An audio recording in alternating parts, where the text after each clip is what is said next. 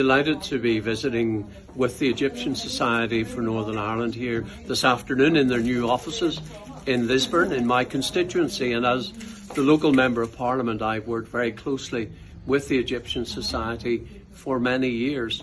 Uh, and it, it is great to hear about the progress that's been made by the Society and after the COVID pandemic that they are meeting together again and this wonderful office will be a focal point for the activities of the Egyptian Society.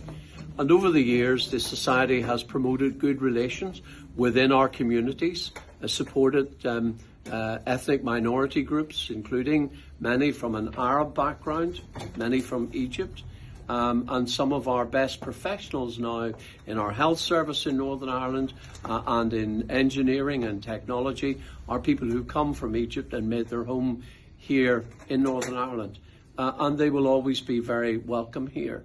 Uh, and so it's a pleasure to be able to support the work of the Egyptian Society in Northern Ireland as it continues.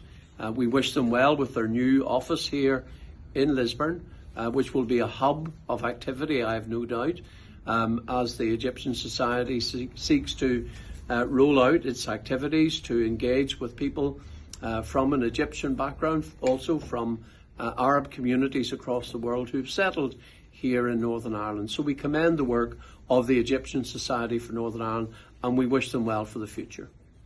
Thank you. Thank you. On Unite Against Hate, um, a, an organisation called Cooperation Ireland is going to take over that work.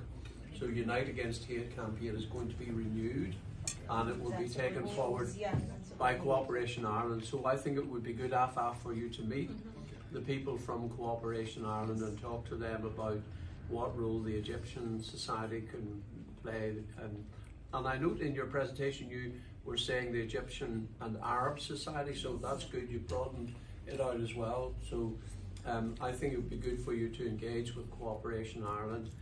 On the funding, uh, you know, uh, Emma and I are more than happy to write letters of support when you're applying for funding, whether it's from the council or from the executive office. Emma uh, will get you some information about um, the Ethnic Minority Fund.